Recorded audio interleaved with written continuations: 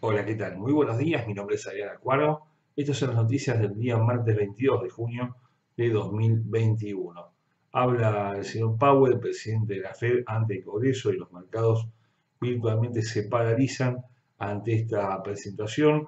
Una presentación que, claro está, sigue a la que tuvo el miércoles pasado, al cabo del encuentro de política monetaria de la Fed, que, bueno, dejó sin cambio la tasa de interés, pero prometió cambiar la política monetaria si la inflación sigue acelerando y en nuestra opinión lo va a seguir haciendo, por lo cual, si bien la promesa fue elevar la tasa de interés hacia 2023, un plazo enorme en este contexto, bueno, todo indica que van a tener que tomar medidas mucho antes de ese plazo. A la vez, no se habló de recortes de fondos, pero bueno, probablemente también tenga lugar en los próximos meses. Por lo pronto, la presentación de Powell es ante un comité designado para tratar asuntos vinculados a la pandemia, por lo cual las medidas que acaba de anunciar probablemente tengan algún impacto en eh, los precios o más bien lo que va a decir tenga de parte de los legisladores eh, algunas preguntas para aclarar respecto a estas medidas.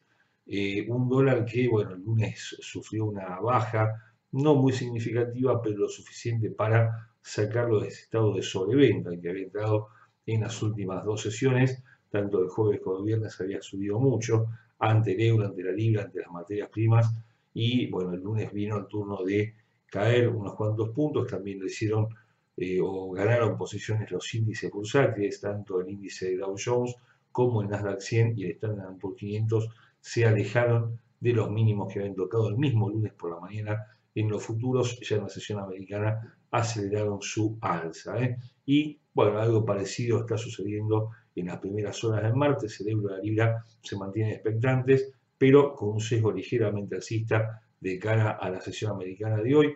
La presentación de Powell es a partir de las 2 de la tarde, hora del este, por lo cual la sesión americana ya va a estar parcialmente eh, desarrollada, casi al final de la sesión, y esto va seguramente a dejar con poco movimiento el inicio de Wall Street y las primeras horas de la bolsa de Nueva York. ¿eh? Por lo cual, bueno, habrá que tomar precauciones y si bien no va a tener el efecto que tuvo la presentación el miércoles pasado, es probable que a partir de las 2 haya algún tipo de movimiento eh, importante del dólar que creemos puede ser nuevamente apuntalado por las palabras de Powell y quedar lo que sucedió el día lunes como una toma de beneficios antes de que la moneda estadounidense vuelva a ganar posiciones.